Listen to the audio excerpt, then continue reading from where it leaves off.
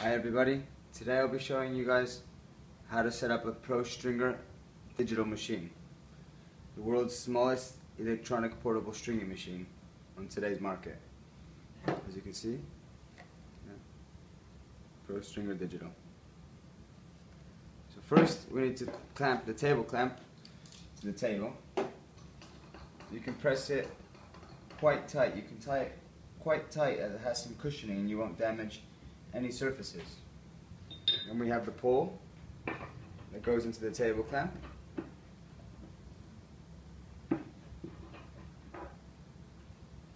Then we have the headpiece.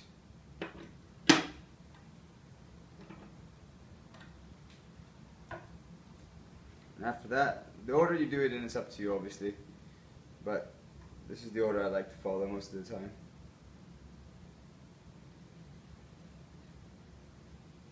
Always make sure you have the middle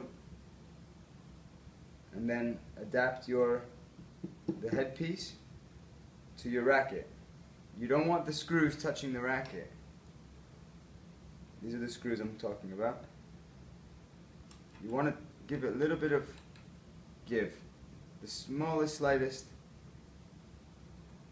space.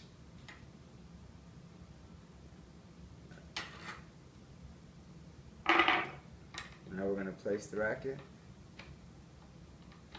nice and tightly, not too tight, just enough, as you just saw. You don't want to press, you don't want to tighten the screws too tight, as you can damage the frame. You just want it a little bit, literally. That's not going anywhere now.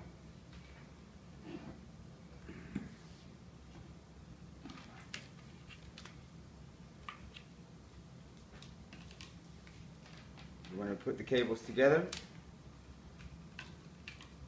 The machine also comes with an adapter, so you don't have to worry about ever not having the right electricity when you're traveling.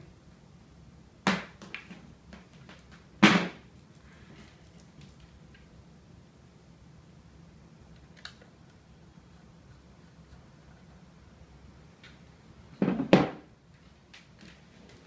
just quickly going to plug it in.